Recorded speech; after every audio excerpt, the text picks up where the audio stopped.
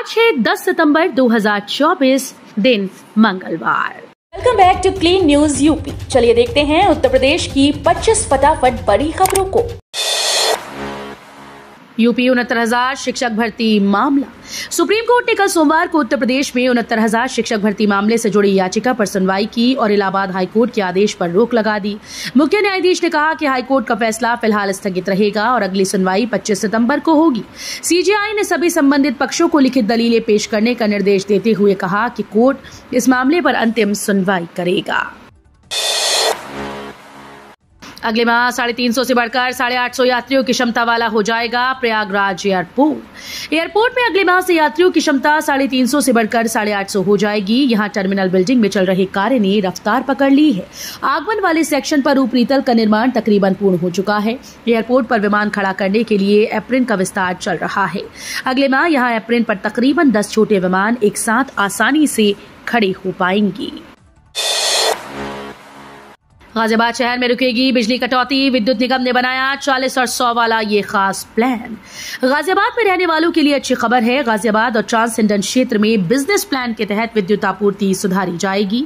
इसके लिए विद्युत निगम ने टेंडर प्रक्रिया शुरू कर दी है, अगले बीस दिन में काम शुरू करा दिए जाएँगे.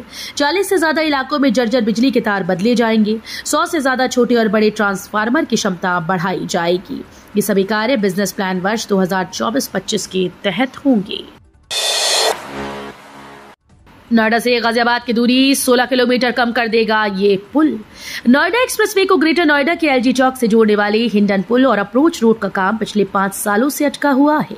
दो किलोमीटर लंबी सड़क और पुल का काम अगले डेढ़ साल में पूर्ण होगा। सड़क सेक्टर एक सौ में पैंतालीस मीटर चौड़ी सड़क से शुरू होती है और एक्वा लाइन मेट्रो के नीचे से होकर गुजरती हुई हिंडन नदी पर बने पुल को पार करने के बाद नॉलेज पार्क तीन की ओर जाती है। फिर वहाँ से एलजी चौक की ओर बढ़ती है। आईएमएस बीएचयू को मिले 27 जूनियर रेजिडेंट डॉक्टर बीएचयू अस्पताल और ट्रॉमा सेंटर में तैनाती। आईएमएस बीएचयू में 27 नए रेजिडेंट डॉक्टर्स की नियुक्ति की गई। पिछले दिनों चयन प्रक्रिया पूरी हुई। 17 नए रेजिडेंट को चुना गया है। बीएचयू अस्पताल और 10 को ट्रॉमा सेंटर में तैनात किया गया है। एक साथ डॉक्टर्स की नियुक्ति से मरीजों के इलाज और जाँच में सहूलियत होगी। आईएमएस में जूनियर रेजिडेंट और सीनियर रेजिडेंट की तैनाती की प्रक्रिया चल रही है। लखनऊ से निकलेगा नया एक्सप्रेसवे तीन शहरों को मिलेगा नया तोहफा। लखनऊ से आगरा तक अवध एक्सप्रेस एक्सप्रेसवे एनएच 25 के समानांतर करीब साढ़े तीन किलोमीटर की दूरी तक चलेगा। लखनऊ में ये एक्सप्रेसवे शहीद पथ से शुरू होगा, जो बंथरा, बनी, दतौली और कांथा के रास्ते होते हुए कानपुर तक पहुंचेगा। लखनऊ कानपुर अवध एक्सप्रेसवे में लखनऊ ज़िले के कुल ग्यारह गाँव पड़ेंगे, वहीं उन्नाव ज़िले के सबसे ज़्यादा इकतीस गाँव पड़ेंगे। लखनऊ कानपुर अवध एक्सप्रेसवे बनने में करीब चार हज़ार सात सौ करोड़ रुपए का खर्च आएगा। यूपी नीट यूजी राउंड दो काउंसलिंग के लिए करें registration. UP NEET UG counselling 2024 के दूसरे राउंड के लिए रजिस्ट्रेशन शुरू हो गया है। रजिस्ट्रेशन ऑफिशियल वेबसाइट पर जाकर करना है। रजिस्ट्रेशन विंडो 9 सितंबर की सुबह 11 बजे ओपन हो गई। इनकी फ़ीस दो हज़ार रुपए है। हालाँकि जिन स्टूडेंट्स ने राउंड एक में रजिस्ट्रेशन किया था, उन्हें दोबारा रजिस्ट्रेशन और फ़ीस जमा करने की ज़रूरत नहीं है। सरकारी कॉलेज में सीट आवंटित होती है तो तीस हज़ार रूपए सिक्योरिटी मनी जमा करनी होगी। यूपी ने सात सालों में विकास और निवेश के नए युग में किया प्रवेश। आइकिया स्टोर के शिलान्यास कार्यक्रम में बोले सीएम योगी। मुख्यमंत्री योगी आदित्यनाथ ने कहा कि साढ़े सात वर्ष में उत्तर प्रदेश ने देश दुनिया के निवेशकों का विश्वास अर्जित किया है। आइकिया इंडिया उन्हीं निवेशकों में से एक है। आइकिया इंडिया के द्वारा उत्तर प्रदेश में पचपन करोड़ रुपये के निवेश प्रस्ताव पर धन्यवाद ज्ञापित करते हुए मुख्यमंत्री ने कहा कि उत्तर प्रदेश, भारत के अंदर अब इन्वेस्टमेंट का ड्रीम डेस्टिनेशन बन गया है। पिछले साढ़े सात साल में प्रदेश ने विकास और निवेश के नए युग में प्रवेश किया। आगरा में सामाजिक न्याय पर चिंतन हुआ शुरू। केंद्रीय मंत्री रामदास आठवले ने किया शुभारंभ। आगरा में सामाजिक न्याय व अधिकारिता पर चिंतन के लिए सोमवार से आगरा में 36 राज्यों के मंत्री, सचिव, निदेशक सहित 215 प्रतिनिधि जुटना शुरू हो गए। छात्रवृत्ति पेंशन, आदर्श ग्राम, दक्षता, कौशल व दिव्यांगों के लिए चलाई जा रही योजनाओं की राज्यवार समीक्षा की जाएगी। राष्ट्रीय नशा मुक्त भारत अभियान के एक्शन प्लान पर मंथन होगा। इस शिविर का शुभारंभ केंद्रीय मंत्री रामदास आठवले ने किया। वाराणसी गाजियाबाद के बीच चलेगी पूजा एक्सप्रेस। दशहरा से पहले बनारस और गाजियाबाद के बीच पूजा एक्सप्रेस ट्रेन का संचालन किया जाएगा। इससे यात्रियों को सहूलियत होगी। स्पेशल ट्रेन बनारस से प्रत्येक मंगलवार को जाएगी। ट्रेन संख्या शून्य पाँच शून्य चार सात बटे शून्य पाँच शून्य चार आठ। Banaras Ghaziabad puja special train. Banaras से आठ अक्टूबर से छब्बीस नवंबर और गाजियाबाद से नौ अक्टूबर से सत्ताईस नवंबर तक आठ फेरों में चलाई जाएगी। यूपी के छह जिलों में हज़ारों नौकरियाँ इंटरव्यू देकर पाए पैंतीस हज़ार तक सैलरी वाली जॉब। निजी क्षेत्र की कंपनीज़ में नौकरी तलाश रहे युवाओं के लिए बड़ी खुशखबरी है। क्षेत्रीय सेवायोजन विभाग की ओर से आज से और इस महीने के आखिरी सप्ताह तक मेरठ मंडल के विभिन्न जिलों में बड़े स्तर पर रोज़गार मेले का आयोजन किया जा रहा है। ये रोज़गार मेले अलग अलग जिलों में अलग अलग तारीखों पर लगाए जाएँगे। साक्षात्कार के बाद युवाओं को मौके पर ज्वाइनिंग लेटर भी दे दिया जाएगा। मेरठ बागपत, गाजियाबाद समेत कुल छह जिलों में इसी महीने भर्ती की प्रक्रिया पूर्ण कर ली जाएगी। आईआईटी के शोधकर्ताओं ने विकसित की उन्नत सोलर एनर्जी तकनीक लागत कम, उत्पादन ज़्यादा। आईआईटी के यांत्रिक अभियांत्रिकी विभाग के शोधकर्ताओं ने सौर ऊर्जा उत्पादन में उन्नत सोलर एनर्जी प्लांट की नई तकनीक की खोज की। ये नई डिज़ाइन का सोलर प्लांट पहले से चले आ रहे सोलर प्लांट से कम लागत में लग जाएगा। वहीं अधिक बिजली उत्पादन भी करेगा।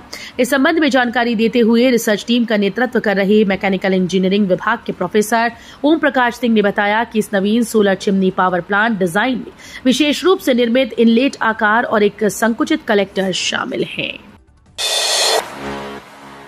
अठारह हज़ार करोड़ रुपए से तेरह सौ हेक्टेयर में बसेगी नई काशी, चालीस गाँव को मिलाकर बनेगी छह टाउनशिप। उत्तर प्रदेश में बाबा भोले की नगरी वाराणसी को नया लुक देने की तैयारी शुरू कर दी गई। घाटों, मंदिरों, गलियों के शहर बनारस में बदलाव के दौर में नई काशी बसाने की परियोजना को धरातल पर उतारने की ओर कदम बढ़ाए।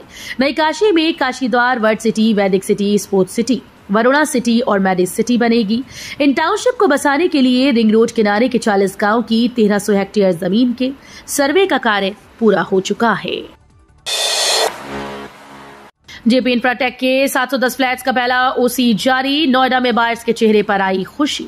उत्तर प्रदेश के नोएडा से बड़ी खबर निकलकर सामने आई है। जेपी इंफ्राटेक में फंसे बायर्स के लिए अच्छी खबर है। नोएडा अथॉरिटी ने जेपी इंफ्राटेक को टेक ओवर करने वाली कंपनी सुरक्षा रियल्टर्स को 710 फ्लैट की ओसी जारी कर दी है। जिसके चलते इन बायर्स को सुरक्षा अगले दो से तीन दिन में पोजीशन लेटर ऑफ़र कर देगी। इसके अलावा एक हज़ार अट्ठावन फ्लैट का ओसी लेने के लिए कंपनी की ओर से अथॉरिटी में और आवेदन कर दिया गया है।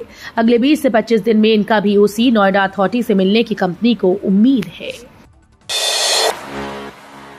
यूपी से अब कटियामारी होगी समाप्त। तो फीडर्स पर लगे स्मार्ट मीटर रोकेंगे बिजली की चोरी। किस फीडर से कितनी बिजली आपूर्ति हो रही है, इसका पूरा हिसाब किताब रखने के लिए फीडर्स पर स्मार्ट मीटर लगाए जाने का सिलसिला शुरू हो गया। इससे पता चल जाएगा कि किस फीडर पर कितनी बिजली चोरी हो रही है। इसके अलावा डिसमेंटल बॉक्स का जाल बिछाया जा रहा है। इसमें सिर्फ़ वैध कनेक्शनधारियों की ही लाइन को जोड़ा जाएगा। ये पूरा प्रयास बिजली चोरी पर अंकुश लगाने के लिए किया जा रहा है। डेढ़ करोड़ से भरेंगे। 112 सड़कों के 500 गड्ढे। मरम्मत के लिए शासन से जारी हुआ बजट। बारिश से बदहाल हो चुकी सड़कों की मरम्मत के लिए शासन से बजट जारी हो गया है। अलीगढ़ में जीटी रोड, क्वारसी एटा चुंगी, बाईपास सहित। 112 सड़कों की मरम्मत का कार्य जल्दी ही शुरू हो जाएगा। बारिश के चलते हाईवे, जीटी रोड समेत शहर से लेकर देहात क्षेत्र की कई सड़कें बदहाल हो चुकी हैं। प्रदेश सरकार ने इनकी मरम्मत के लिए प्रस्ताव मांगे थे। ज़िले से एक सौ बारह सड़कों का प्रस्ताव भेजा गया था। स्कूल में यातायात नियमों के पाठ पढ़ेंगे बच्चे। रोड सेफ्टी क्लब का होगा गठन। इस वर्ग के छात्रों को किया जाएगा शामिल। उत्तर प्रदेश में अब स्कूल में बच्चों को यातायात नियमों का पाठ पढ़ाया जाएगा। शहर से लेकर गाँव तक के बच्चों को सड़क नियमों के प्रति जागरूक करने के लिए बेसिक शिक्षा विभाग के द्वारा ये कार्य किया जाएगा। बच्चों को सड़क सुरक्षा के प्रति जागरूक करना बेहद आवश्यक है, ताकि सड़क पर होने वाली दुर्घटनाओं को रोका जा सके। सुल्तानपुर एनकाउंटर पर मायावती की पहली प्रतिक्रिया आई सामने भाजपा और सपा पर साधा निशाना। सुल्तानपुर में डकैती के आरोपी मंगेश यादव के एनकाउंटर पर सियासत बढ़ती जा रही है। एक तरफ़ अखिलेश यादव ने योगी सरकार पर आरोप लगाया कि यह एनकाउंटर जाति देखकर किया गया। इस बीच बसपा प्रमुख मायावती ने भी पहली प्रतिक्रिया दी है। बसपा प्रमुख मायावती ने सोशल मीडिया एक्स पर लिखा कि यूपी के सुल्तानपुर ज़िले में एनकाउंटर की घटना के बाद से बीजेपी और सपा में कानून व्यवस्था को लेकर आरोप प्रत्यारोप लगाई जा रही हैं और अपराध, अपराधी व जाति के नाम पर ज़बरदस्ती की राजनीति की जा रही है, जबकि इस मामले में ये दोनों चोर चोर मौसेरे भाई जैसे हैं। यूपी के ज़िले में धड़ाधड़ कट रहे राशन कार्ड, अब तक हज़ारों लोगों पर हुई कार्यवाही अपात्र होते हुए भी प्रधानमंत्री गरीब कल्याण अन्न योजना के तहत मुफ़्त राशन का लाभ ले रहे लोगों की सूची शासन स्तर से जारी कर दी गई। इसके बाद जिला स्तर पर सत्यापन कर अपात्रों का नाम लाभार्थियों की सूची से हटाया जा रहा है। उनके नाम पर बने राशन कार्ड को निरस्त किया जा रहा है। सितंबर माह में अपात्रों का नाम काटने का अभियान में तेज़ी लाई गई। कई दिन की गिरावट के बाद स्थिर हुआ गंगा का जलस्तर, हो रही निगरानी। गंगा का जलस्तर कई दिन की गिरावट के बाद सोमवार को स्थिर हो गया। केंद्रीय जल आयोग की रिपोर्ट के अनुसार सोमवार की सुबह जलस्तर चौसठ दशमलव बयासी मीटर रिकॉर्ड किया गया। एनडीआरएफ जल पुलिस की टीम गंगा के जलस्तर की निगरानी कर रही है। पिछले सप्ताह सोमवार से गंगा के जलस्तर में गिरावट हो रही थी। दो तीन सेंटीमीटर घंटे प्रति घंटा की रफ्तार से जलस्तर में गिरावट हो रही थी। सात दिनों की गिरावट के बाद जलस्तर सोमवार को स्थिर हो गया। बड़े जलस्तर की आड़ में गंगा में बहाया जा रहा जहर। जल निगम की जाँच में हुई पुष्टि।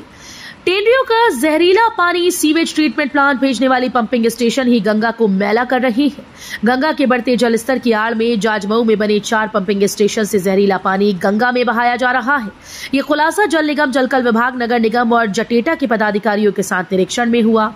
जटेटा के टैपिंग प्वाइंट की पास से गंगा में लाल रंग का पानी जाता दिखाई दिया। जाजमऊ क्षेत्र में सीवर लाइन में भी केमिकल युक्त पानी नज़र आया। उत्तर प्रदेश सरकार का बड़ा फैसला, करोड़ों लोगों को फ़ायदा उत्तर प्रदेश सरकार ने बड़ा फैसला करते हुए प्रदेश को गरीब मुक्त प्रदेश बनाने की ठान ली है। उत्तर प्रदेश सरकार के इस बड़े फैसले के पीछे खुद मुख्यमंत्री योगी आदित्यनाथ की बड़ी सोच है। दरअसल, उत्तर प्रदेश में लगभग 18 प्रतिशत लोग गरीबी की रेखा के नीचे निवास करते हैं। वर्ष 2013-14 में उत्तर प्रदेश में 43 प्रतिशत लोग गरीबी की रेखा के नीचे थे। उत्तर प्रदेश सरकार ने यह तय किया है कि उत्तर प्रदेश को पूरी तरह से गरीब मुक्त प्रदेश बनाना है।